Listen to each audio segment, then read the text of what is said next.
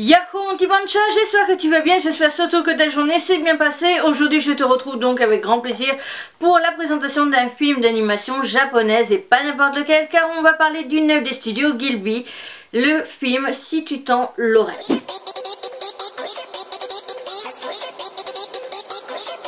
Donc en ce qui concerne ce film d'animation des studios Gilby, nous sommes donc avec un film de Yoshifumi Kondo, je me demande si c'est pas de la même famille que Marie Kondo. Je me fais la, question. Nous sommes donc avec le DVD numéro 17. L'œuvre date quand de 1995 au Japon et nous sommes sur une œuvre qui est donc dans le genre comédie étrange vie. L'œuvre est âge conseillé aux 12 ans et plus et c'est tout en ce qui concerne les informations sur ce film. On attaque donc avec mon avis sur le rendu du coffret DVD et aussi, enfin du, ouais du coup, c'est coffret DVD, je sais pas comment on dit quand il y en a comme ça, c'est un, truc simple, et aussi de l'illustration choisie pour le DVD en soi. Pour ce qui est donc de l'avant, je la trouve l'illustration géniale, tout simplement parce que quand on a vu le film, on se rend compte que l'image résume à la perfection l'aventure. On a le vélo que l'on retrouve dans la série, on a le chat que l'on retrouve très régulièrement et qui est très présent, et nos deux protagonistes clés. Une petite fenêtre la maison principale euh, qui est la maison principale où se passe l'aventure, je trouve ça juste parfait et j'adore le choix. Pour ce qui est de l'illustration à l'arrière, on est sur un fond bleu, on a une illustration qui est plus ou moins cachée, j'ai l'impression sur le côté bleu, mais je n'arrive pas du tout à distinguer ce que c'est. Ou alors c'est juste un, jeu de ton au niveau des couleurs et c'est tout.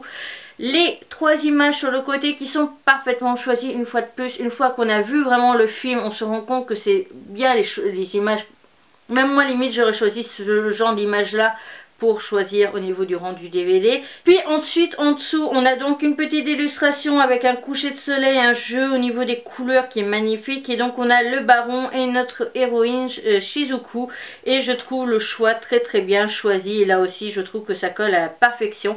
Pour ce qui est l'illustration du DVD, personnellement, ça a été un coup de cœur. Et j'ai vraiment aimé voir cette illustration. Une fois avoir vu le, le film, je le redis, une fois avoir vu le film, on comprend tout à fait ces choix-là et je trouve qu'ils sont juste parfaits et qui ont été parfaitement sélectionnés par rapport à l'ensemble. Dans cette vidéo, on ne va pas parler de la qualité graphisme, tout simplement parce que c'est quand même des studios Gilby, il n'y a rien à redire en ce qui concerne la qualité graphisme, elle est juste magnifique. Par contre, à savoir qu'en ce qui concerne ce film, quand on n'est pas par un film surtout de Hayao Miyazaki, c'est principalement lui qui fait ce genre de choses, nous sommes sur une œuvre qui est euh, dite classique, c'est-à-dire que nous n'avons pas réellement de créatures fantastiques, de, de choses euh, un petit peu surnaturelles, etc. On va être vraiment sur un film basé sur une œuvre classique et une histoire tout à fait banale, c'est-à-dire qu'on est avec des simples humains qui vivent dans le vrai monde et pas de monde parallèle, pas de tout ce qu'on a l'habitude et qu'on connaît via les studios Ghibli et via Hayao Miyazaki. C'est un peu une réflexion que je m'étais fait avec le souvenir de Marnie Marine, je sais jamais le nom exact du film, et j'avais dit justement que j'avais été un petit peu déçue parce que c'est vrai que quand on voit Ghibli, on, oh, Ghibli, je sais jamais comment prononcer exactement, on se dit toujours, on se pense toujours à des films comme Le Château ambulant, euh, Nausicaa, etc. etc. Et euh, c'est vrai que quand on tombe sur un film comme ça, ça peut décevoir, surtout qu'on n'est pas au courant. Voilà. Personnellement, je ne savais absolument pas, mais ça ne m'a pas dérangé car l'histoire a été quand même magnifique et très très bien travaillée. Bon, je pense que le côté bien travaillé, tu dois t'en douter, mais c'est vrai que c'était quelque chose de très agréable à voir. Et surtout, pour une fois, j'ai vraiment beaucoup plus apprécié cette série, euh, enfin ce film plutôt, par rapport à Souvenir de Marnie, où là j'avais été quand même assez déçue par rapport au salon développement où au final, je le redis, mais on, était développé, on, avait développé l'histoire juste limite sur les 10-20 dernières minutes, on avait vraiment nous donné la réponse des questions qu'on se posait pendant tout le film. Là, on est vraiment sur quelque chose qui évolue au fur et à mesure de la série. C'est vraiment quelque chose de très agréable. D'ailleurs, c'est un film que je conseille à tout le monde parce que, mine de rien, il apporte quand même un message positif euh, qu'on le visionne et c'est vrai que ça fait énormément de bien. Moi, je pense que pour ceux qui me suivent sur les réseaux sociaux, notamment Instagram, tu dois savoir qu'en ce moment, euh, il faut savoir que tout le mois de janvier et la fin du mois de décembre ont été quand même assez compliqués pour moi et j'ai eu beaucoup, une phase encore plus négative et encore plus... Euh, euh, et euh, je n'allais vraiment vraiment vraiment vraiment pas bien et ce film, le message qu'apporte ce film m'a fait énormément de bien et m'a permis de me sentir un peu mieux. Je t'avouerai que même le film m'a fait pleurer dû à son message positif et euh, au fait que ça a apporté quelque chose de positif pour moi et il est tombé pile au bon moment.